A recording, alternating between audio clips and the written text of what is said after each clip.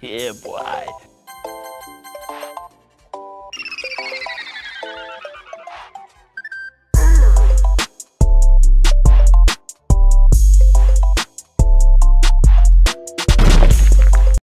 Hold up. Wait a minute.